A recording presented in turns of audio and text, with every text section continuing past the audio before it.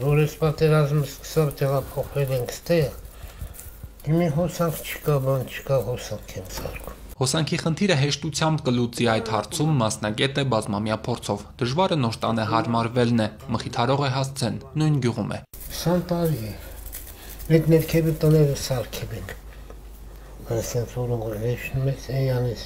առաջինը չէ երկրորդը։ Ներքևի տունը ստիպված են թողել Շուրնուխի այն շինություններից մեկն է, որն այս պահին վիճարկելի տարածքում է։ Հիմա ժամանակավոր տեղավորվել են գյուղի ազատներից մեկում, տեղափոխել են ամենը, ինչ հնարավոր էր։ Մի կողմ ունենք, մի հորթայնա, հարևանի գումում նա երեխեն գնաց կիրակրի։ Գնանք, չգիտեմ, ոնց կլի, ոնց չի լինի։ Անորոշությունը որոշակիացնելու եղած խնդիրները գույքագրելու հնարավոր լուծումներ գտնելու համար կառավարությունն աշխատանքային խումբ էր ուղարկել Շուրնուխ։ Արդեն հստակ է գյուղում առնվազն 12 նոր տուն են կառուցելու հոժանդակ շենք շինություններով, ենթակառուցվածքներով։ Ուսումնասիրեցինք ճանապարհների խնդիրը, ինչպես պետք է անցկացվեն կառուցվեն նոր ճանապարհները, խմելու ջրի խնդիրը,